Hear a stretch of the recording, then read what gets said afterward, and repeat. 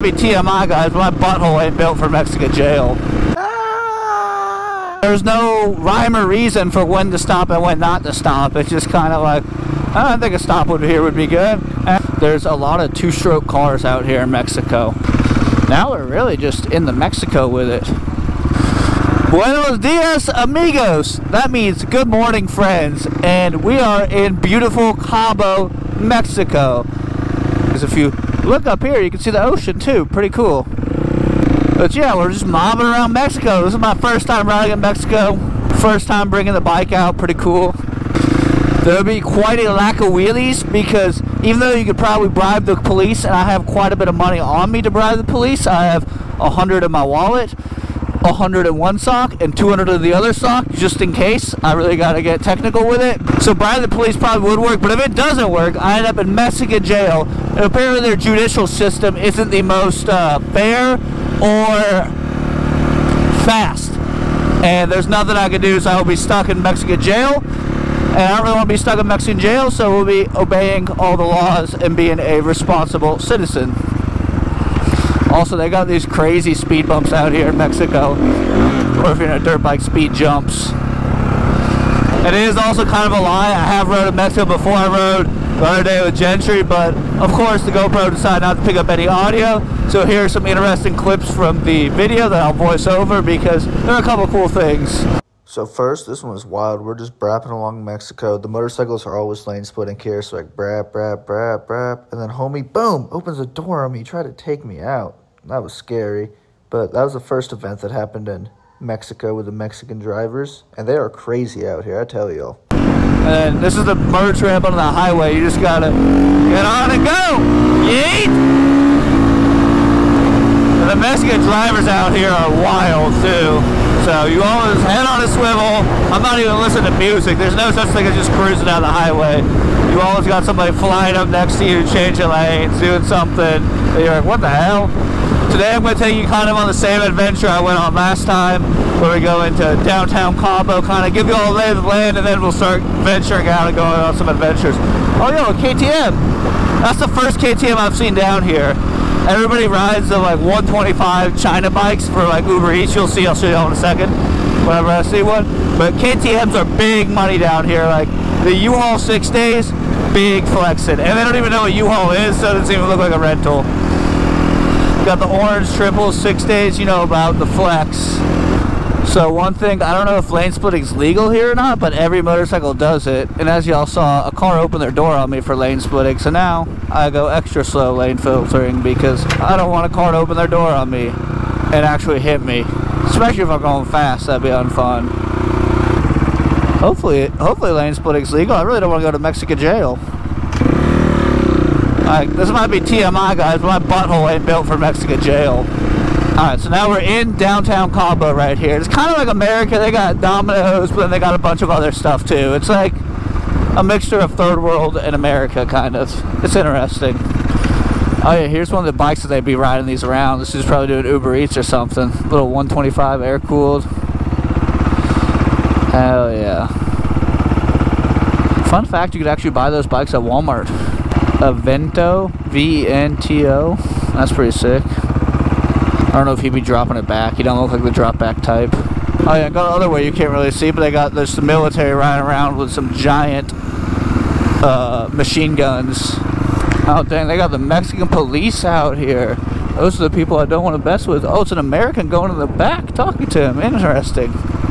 Yeah, that's not what we're trying to do. That's why I'm responsible, obeying the laws. Like, maybe if we go out in the middle of nowhere, I'll throw a couple up, but in here, no even though I would love to be shredding these Cabo streets. Another thing you gotta watch out for is I don't really do stop signs. You just gotta kind of ride. Like, I don't know if that's a stop or not, but just kind of keep an eye out and ride aggressive.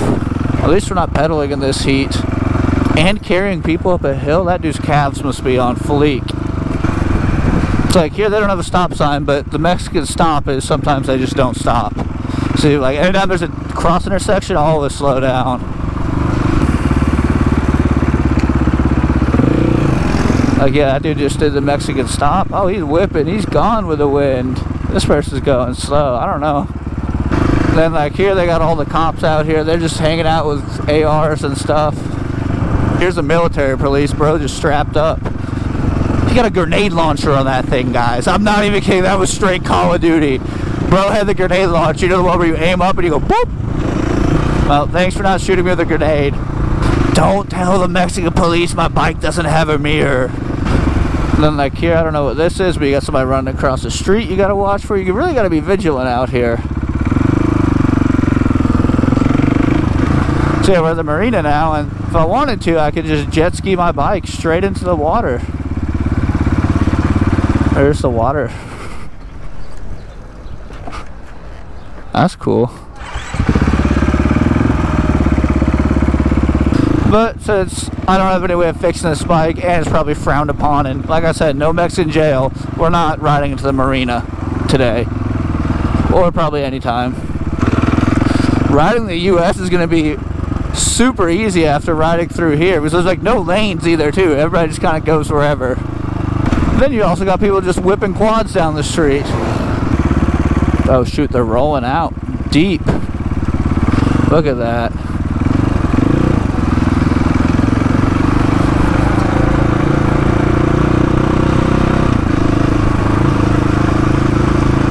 I should probably try and get away from here. I did not think they'd be rolling out when I did my U-turn.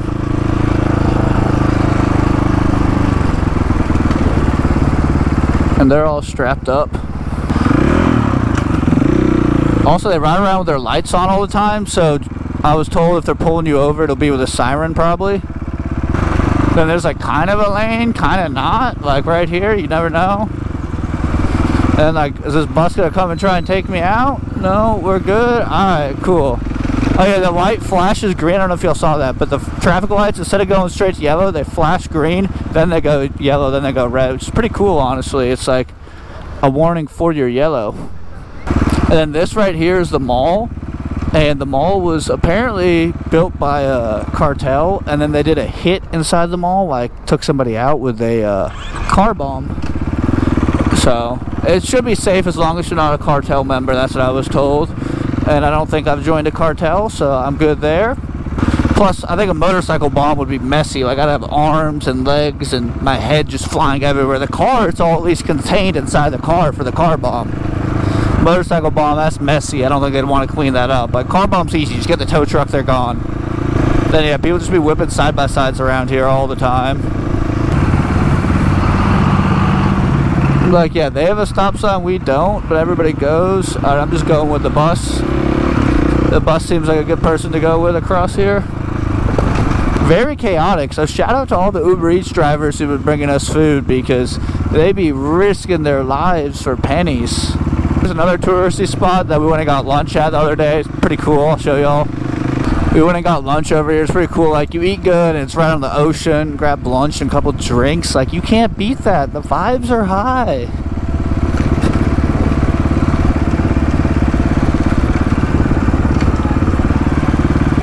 What kind of license plate is this? A piece of paper, freaking taped to your back with a signature?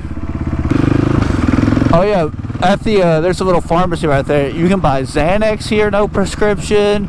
You can get barred out, no prescription. You can get whatever you want, no prescription. So I might just become a bartard. Also barred. Like, you know, they take Xanax as barred out, barred. And yeah, there's just a bunch of sand in the middle of the street you gotta watch out for. Supermotos are not ideal for that. Yeah, they got Flexeril, Viagra, ibuprofen. They even got Claritin D. You don't need it to get over the counter. You can just get it. The Mexican pharmacy is pretty wild.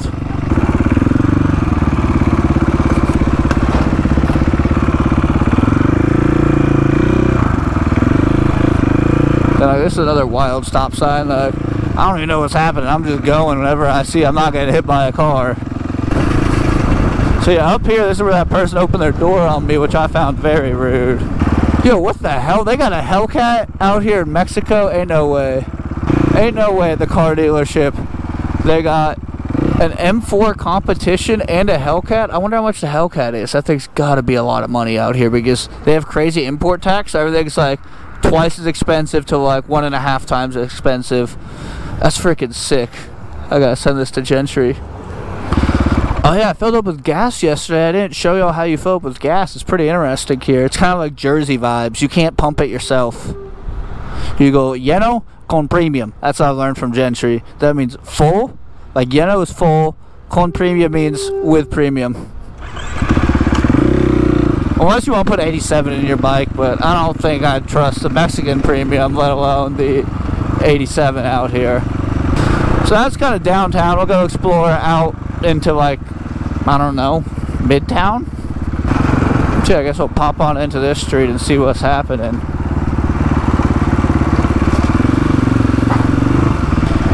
So you gotta pay attention. The one way ends here, and all I have to tell you is just that little sign that says don't go that way. Like I'm scanning for traffic four times as much as I normally do, and I normally scan for traffic a good amount, but it'd be crazy out here. And then you gotta scan for one-way signs too, like which way the cars are parked. Here you gotta slow down, make sure nobody's coming, takes you out. There's a whole vibe out here. I'm like Lil Uzi Vert though. I don't know, it's only my third day out here, whatever he said. Yeah. It's only my third day out here. I don't know. Yo, If the cops pull me over, I'm playing that clip. Like, is this guy go or I go? I think I go. Yeah, I don't know. Speed jump. But yeah, guys, here's their Uber Eats, which is pretty wild, just driving around all day in these Mexican streets, which are terrorizing, honestly, but just delivering food. Like here we got an Alto, so we stop, but it's not really a stop because it's Mexico. You just kind of yield and merge in. Then I guess we stop here.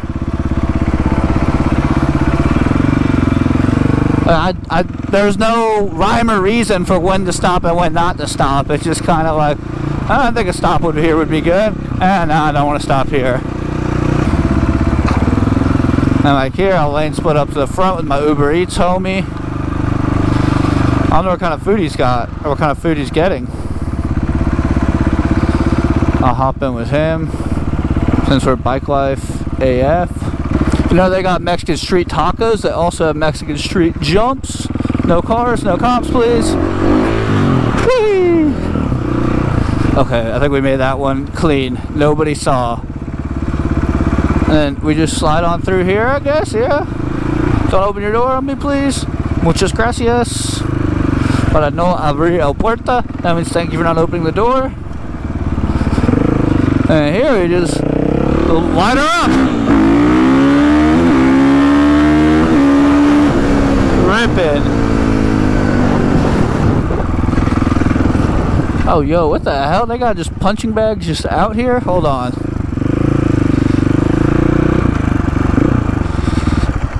So let me practice like smacking somebody's mirror off. I'm going, I'm going, I'm going. I go, what the? Mirror gone. Get a little bike life boxing in. Yeah, ain't nobody want to smoke. I showed them, I think. I hope. That's right, guys. Don't rob me for my bike. I just showed y'all. They don't want to catch these hands. Might not be able to bring guns into Mexico, but I brought two weapons. They're my hands for anybody, any Mexican police watching. I don't want to go to Mexican jail. It's my hands, and they're not actual weapons. I'd probably get my ass beat. But I guess we'll slide up this street. God, this is like such a nice street to cut up, but no Mexican jail. Now we're really just in the Mexico with it. Unpaved streets. I think that's how you know you're in Mexico. Oh yeah guys, the Suzuki Jimnys. These are super cool cars. They're like a mini Bronco. Isn't that cool? 4x4 off-road. Bro just working on the car. At least my skin tone's kind of dark, so it's... Oh, that dog scared me. So I semi-blend in, right? Oh, no way, bro. They got a Can-Am trike. That's sick. I want one of those so bad. And then like there's no warning that there's a cross street. You just gotta pay attention. I'm like, do I stop or does cross traffic stop? I'm gonna let that old lady go. And then I'm gonna venture out. You just never know with the Mexican streets.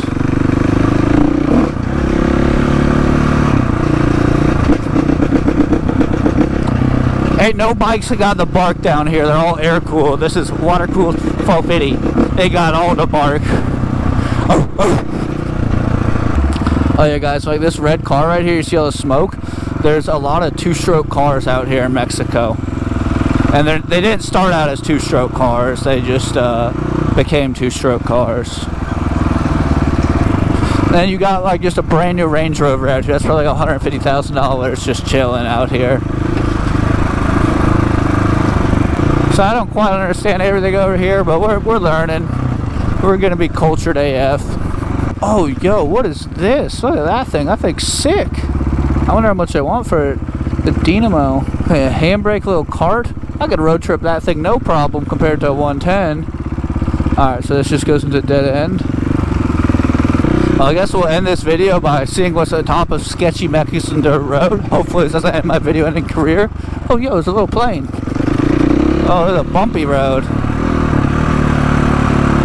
Yeah, sketchy Mexican dirt road, here we go. Wonder where the sketchy Mexican dirt road goes. Well, I got the washboard. You tell where it gets soft.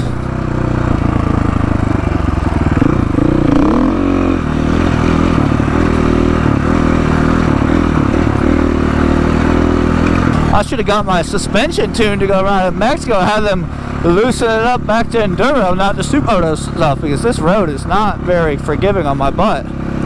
Oh, here's a washboard. I don't know if y'all can hear it, like, y'all can hear that for sure. The dust is getting crazy. And we'll go down this way and see what's up. Whoa, whoa, whoa, my God, we almost crashed.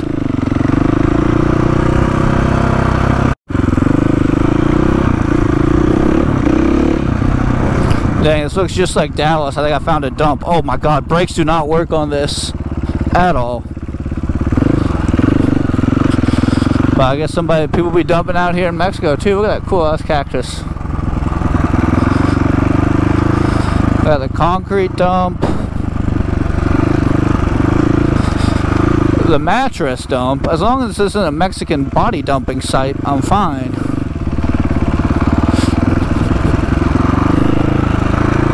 or any race body dumping site. I mean, Mexican as in like this being Mexico. Kind of wish I brought some dirt tires.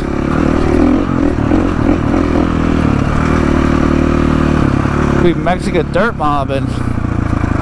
Well guys, it appears we made it to the end of Sketchy Dirt Road, which is cool.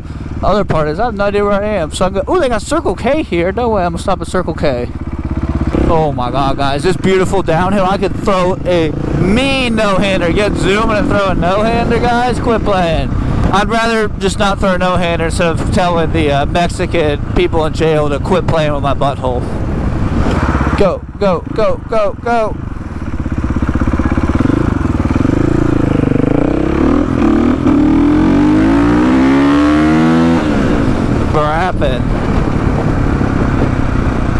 Well guys, we're going to end this video at Circle K. I hope you enjoyed the first ride in Mexico. If you did, please drop a like. See if I can find some shade to park in.